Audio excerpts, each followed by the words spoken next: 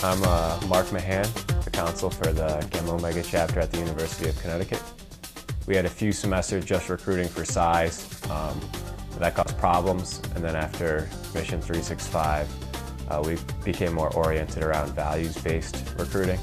Um, and now we have brothers that are contributing um, from those pledge classes.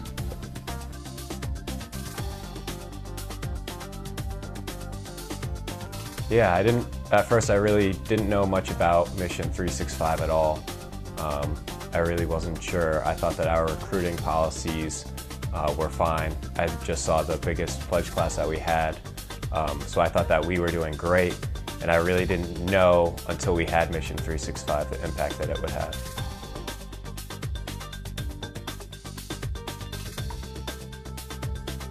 Unequivocally, yes.